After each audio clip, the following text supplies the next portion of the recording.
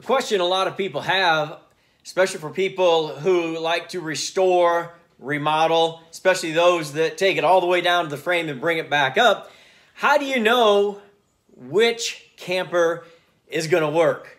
I mean, really, they're all going to work. It's just, are you going to put $10,000 in it and it's a $6,000 trailer? Now, if that's if that's what you want to do and it's just for you, that's okay. That doesn't work for my business model. So what I have to do is have a little checklist in my head and go through the things that I think I'm going to need to make this camper work. Some campers are worth more, some are worth less. So the ones that are worth less have to have a whole lot more going for it than the ones that are worth more because I can get more at the end consumer. So what I'm going to do is I'm going to take you on a walk around of this 1975 Roadrunner and kind of point out the things that I definitely look for when I'm going to rebuild a camper.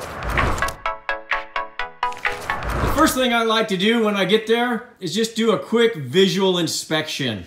Go around the outside because the things that are uh, that will really quickly run up the total of your bill are going to be windows. So I see this window looks great. This window looks great. This light looks good. Now, the exterior skin is going to be the next thing I look at. I don't want a whole lot of dents, a whole lot of dings, but if I have to take them, I'm going to take them and try to work on them. Again, that light is a little discolored, but uh, those are easy to find. Uh, looks like we've got um, 30 amp service already. So the last customer had replaced that, so that's great. That's good news. Uh, furnace, probably not going to keep the furnace, but I'm definitely going to keep this. I look at the wheels and tires. The wheels look in great shape. Tires have lots of tread. They look nearly brand new.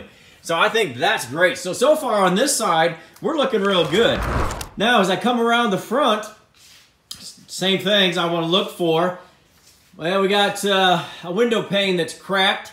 So I have to get that replaced. I got to put that in the money ledger.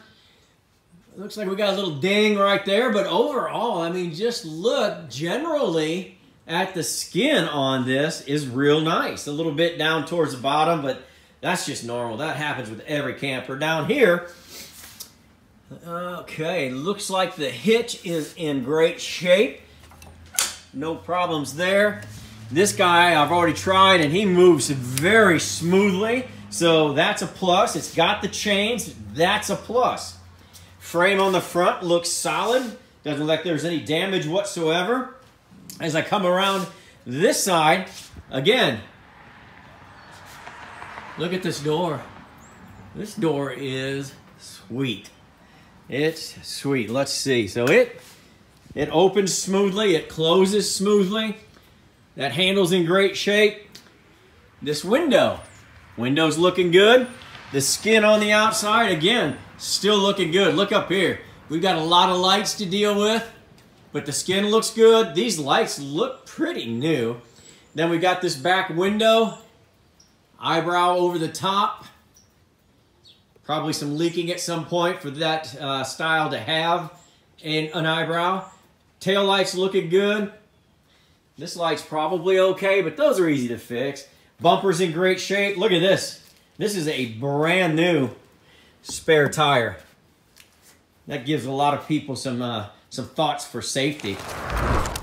Now the last thing on the exterior really, other than I'm looking at the frame underneath, and it looks great, everything is fine on the frame, is I want to check the bearings. I don't know, not everybody's to let you check the bearings, but we're to do it. So you got to get the wheel off, so be prepared for that. Uh, this just pops off. Little bearing buddy, but not a real bearing buddy. And then this is your cotter pin. So we got to get that cotter pin, we've got to get that cotter pin out. So that's out. Now, we got to take a wrench and we've got to remove this nut right here. We're going to take that nut off.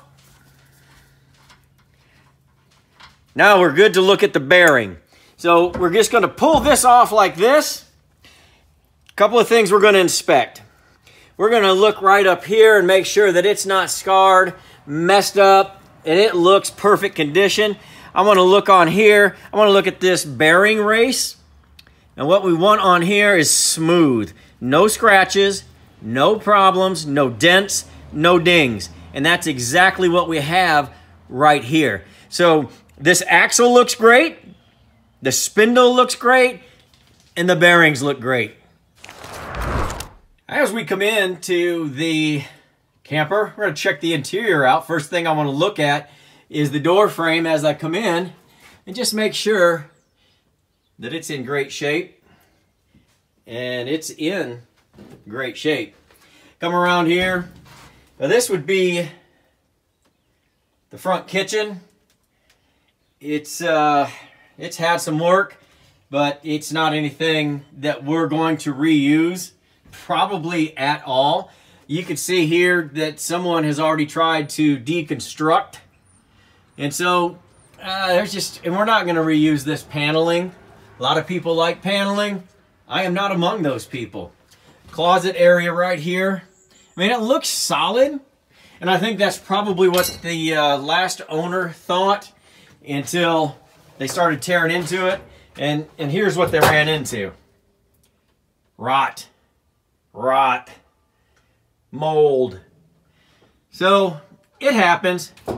You know, it, you know, anything early 70s, 60s, 50s, it's going to happen. It just is. So once you tear into them, you know, it, it's hard to stop. Unfortunately, this customer stopped and said, this is not for me. So the whole back dinette is gone.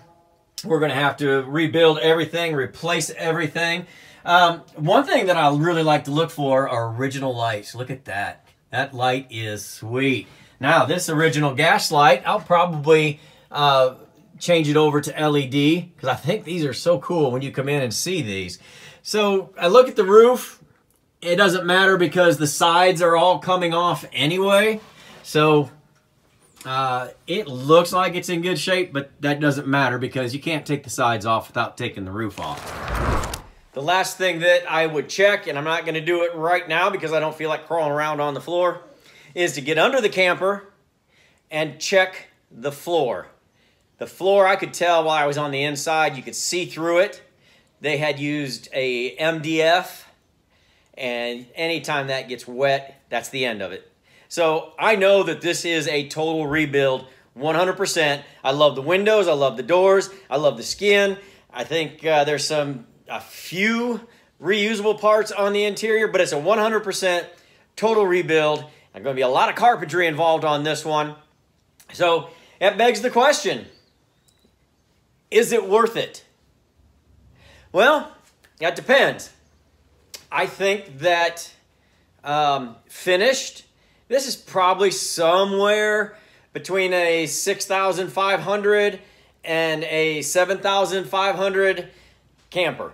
Because it's really, uh, the things I'm going to keep are in great shape and the work I'm going to do on the inside, I'm going to do a really good job. And I think it's just a desirable front kitchen camper.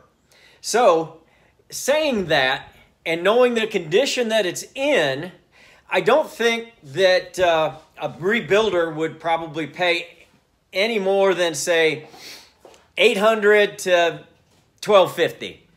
800 1250 I think that's a reasonable price for all of the work that it needs. I think the seller could feel good about that price, and I think that I could feel good about that price to purchase this camper. So those are just some of the things that you've got to take into consideration. Have your calculator going on in your head when you're going to go out and purchase your camper.